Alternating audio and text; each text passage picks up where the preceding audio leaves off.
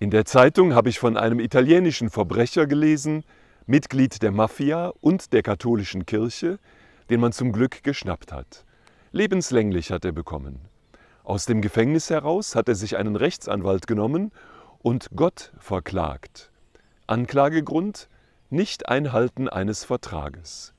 Seine Argumentation, er sei getauft worden und gefirmt worden, und Gott habe ihm bei diesen Sakramenten versprochen, ihn vor dem Bösen zu bewahren. Das habe Gott aber nicht getan. Deswegen Anklage. Das Lustige, warum sowas in die Zeitung kommt, die italienische Justiz hat die Anklage angenommen und dann niedergeschlagen wegen Nichtzustellbarkeit an den Angeklagten. Ganz lustige Geschichte mit einem tiefen Ernst.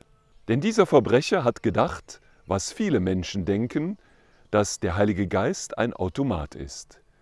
Du drückst auf den Knopf und schon kommt das raus, was du willst. Aber so arbeitet der Heilige Geist nicht. Pfingsten kannst du nicht aufs Knöpfchen drücken und dann ist alles so, wie du es gerne hättest. Der Heilige Geist arbeitet nicht wie eine Maschine, eher wie ein E-Bike.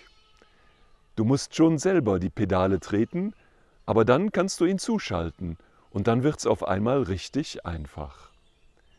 Im Nachtgebet heute bete ich darum, dass wir so leben, als würde alles von uns abhängen und so dem Heiligen Geist vertrauen, als ob alles er tun könnte.